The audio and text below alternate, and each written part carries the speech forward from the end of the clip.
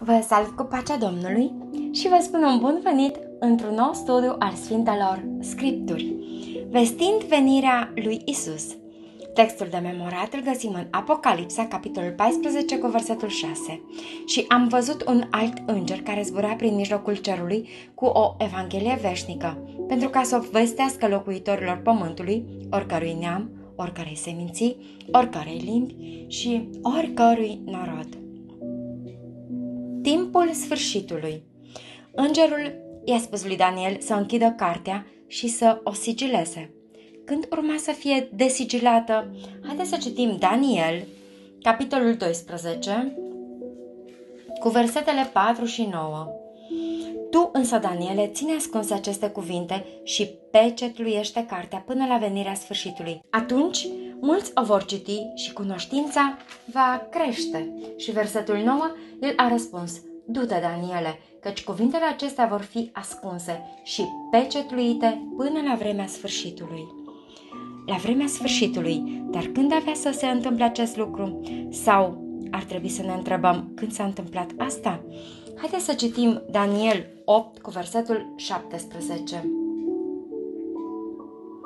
El a venit atunci lângă locul unde eram și la apropierea lui m-am înspăimântat și am căzut cu fața la pământ. El mi-a zis, fii cu luare aminte, fiul omului, căci vedenia privește vremea sfârșitului. Viziunea din acest verset se referă la profeția de 2300 de zile și la momentul în care sanctuarul urma să fie curățit. Viziunea a fost sigilată, dar asta nu i-a împiedicat pe oameni să încerce să o înțeleagă. De-a lungul anilor, oamenii au studiat profețiile lui Daniel. Sir Isaac Newton, unul dintre cei mai mari oameni de știință din toate timpurile, a scris o carte despre profețiile lui Daniel și Apocalipsa. Nu a fost singurul, dar atunci când oamenii încercau să înțeleagă profețiile, se părea că nu puteau ajunge decât până la un anumit punct, înainte de a fi nevoiți să înceapă să ghicească ce înseamnă profeția și când avea să se împlinească. Așa cum spunea Biblia, profețiile au fost sigilate până la vremea sfârșitului. Abia atunci, conform lui Daniel 12 cu 4, cunoștința privind înțelesul cărții lui Daniel va crește. Iar în versetul 10 se spune că cei înțelepți vor înțelege. Așadar, la vremea sfârșitului, când profețiile trebuiau să se împlinească, ele trebuiau desigilate. Dar cum avea să se întâmple acest lucru și cine avea să o facă? După marele cutremur de la Lisabona și chiar mai mult după ziua întunecată, mulți oameni au simțit că timpul sfârșitului trebuie să fie aproape și au devenit interesați să studieze profețiile biblice. Ei au fost interesați în special de profeția de 2300 de zile a lui Daniel. Cea mai importantă cheie folosită în interpretarea profeției a fost înțelegerea din Biblie că o zi profetică reprezenta un an literal. Aproape toți cei care au studiat subiectul au fost de acord cu acest lucru. Dar a ști cât dura profeția nu era de mare ajutor, pentru că nimeni nu era sigur când a început. Cum putea cineva să-și dea seama când se va termina dacă nu știa când a început? Aplicație Haideți să citim în Luca, capitolul 10, cu versetul 21.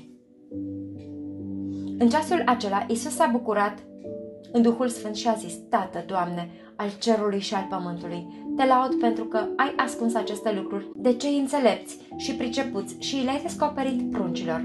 Da, Tată, fiindcă așa ai găsit tu cu cale. Să nu simți niciodată că Biblia este prea greu de înțeles pentru tine. Chiar și întrebările mari, cum ar fi profeția celor 2300 de zile, au fost rezolvate mai întâi de oameni simpli care îl iubeau pe Dumnezeu. Manuel de la Cunsa pe măsură ce creștea interesul cu privire la sfârșitul timpului, tot mai mulți oameni studiau despre asta. Pe măsură ce vorbeau despre sfârșit, mulți alții deveneau interesați. La începutul anilor 1800, existau mai mulți predicatori celebri care se concentrau asupra revenirii lui Isus. Unul dintre aceștia a fost Manuel de la Cunsa, un preot iezuit din Chile, care a scris o carte intitulată Venirea lui Mesia în glorie și mărăție. În special, în cadrul Bisericii Catolice, cartea lui Lacunsa a creat agitație. De ce? Pentru că spunea că numai Scriptura este importantă în încercarea de a înțelege a doua venire a lui Isus. Asta însemna că tradițiile părinților bisericii nu contau. De asemenea, el spunea că Biblia transmite exact ceea ce spune, cu excepția cazului în care se folosește un simbol evident. Aceasta era o preocupare pentru teologii catolici care spuneau de mult timp că Biblia era plină de alegorii, înțelesuri misterioase, ascunse, pe care doar preoții le puteau înțelege. Poate cel mai mult îi deranja pe catolici credința sa că Antichristul nu era un singur individ, ci o organizație mare. La Cunza știa că multora dintre catolici nu le va plăcea cartea sa. Probabil de aceea a folosit un alt nume atunci când a scris-o. Dar faptul că se numea Rabbi Benezra nu a păcălit pe nimeni. Poate că a fost mai bine că a murit înainte ca papa să-i condamne oficial cartea. Condamnată sau nu, cartea sa a câștigat respectul multor studenți ai Bibliei. În cele din urmă, a fost tradusă în mai multe limbi și a influențat mai mulți predicatori să înceapă să studieze a doua venire a lui Isus. Aplicație. Ce a făcut Lacunsa pentru a crește în cunoașterea profețiilor biblice? Irving și Wolf Lucrarea lui Manuel de la Cunsa, împreună cu interesul general din ce în ce mai mare pentru cea de-a doua venire, a influențat puternic pe Edward Irving, un important pastor englez.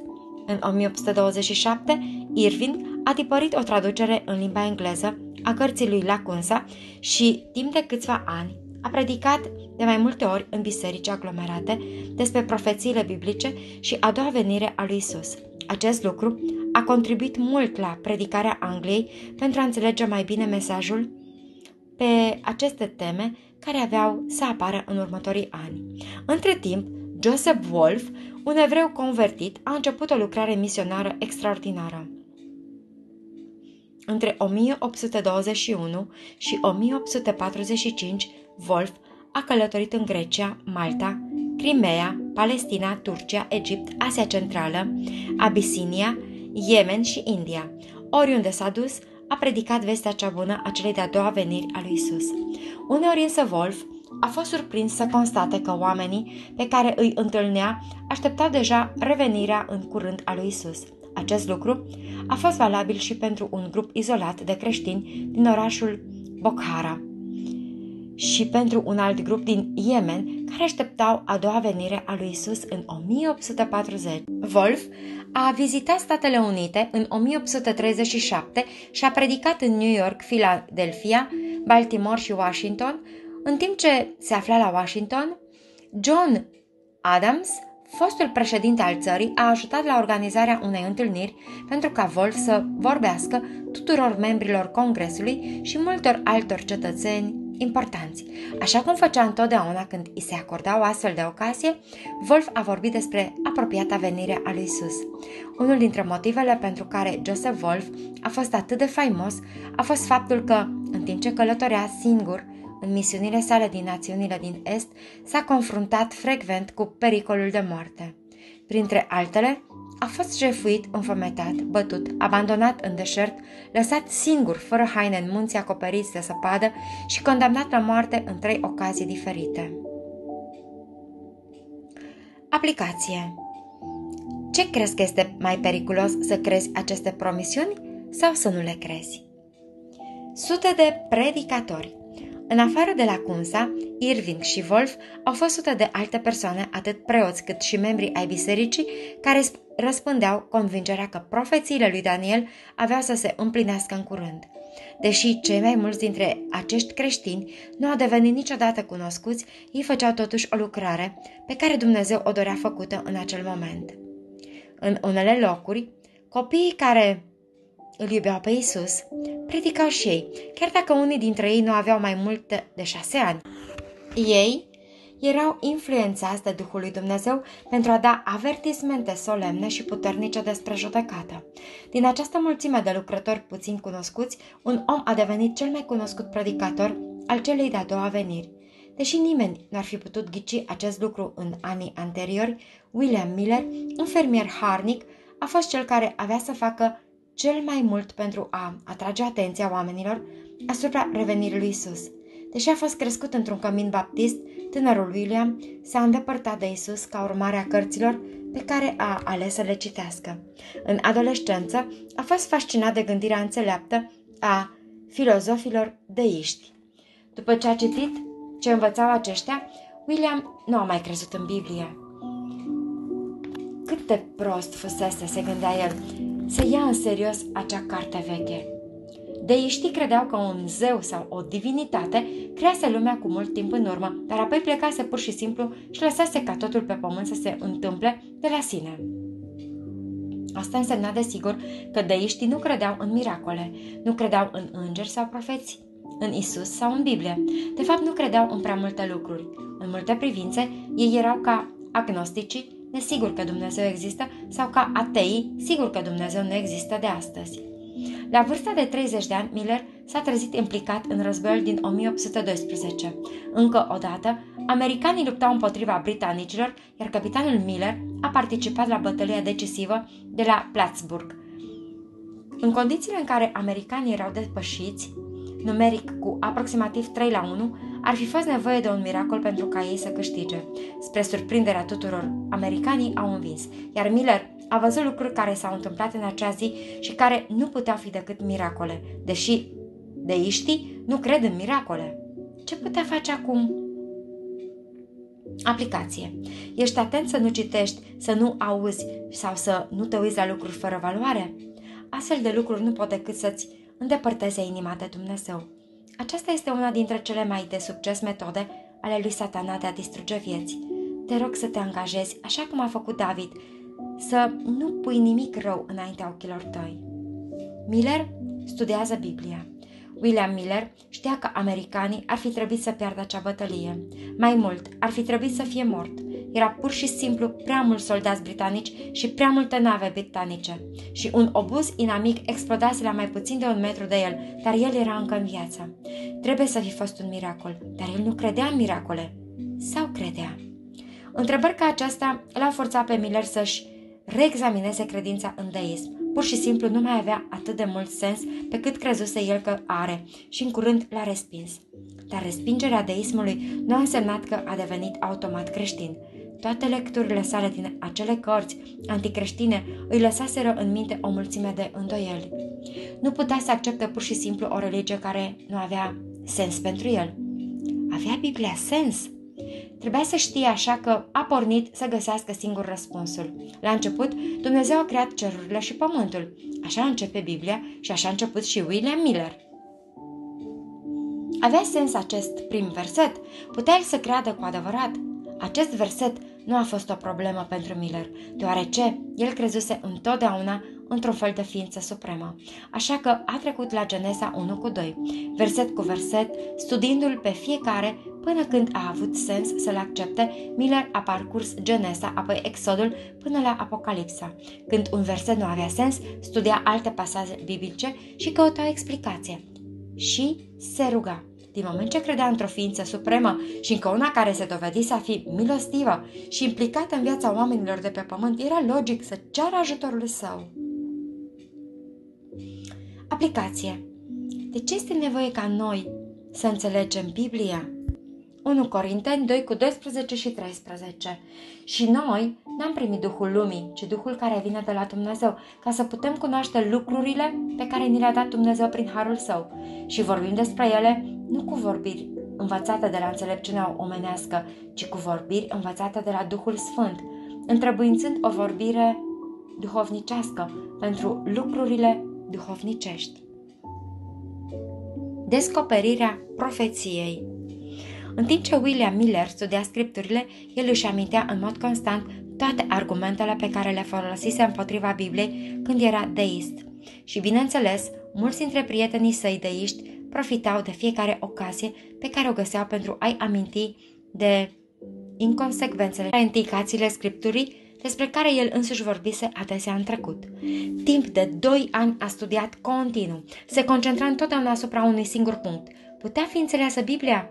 Spre ușurarea sa și, poate spre surprinderea sa, a descoperit că putea înțelege majoritatea scripturilor doar citindu-le.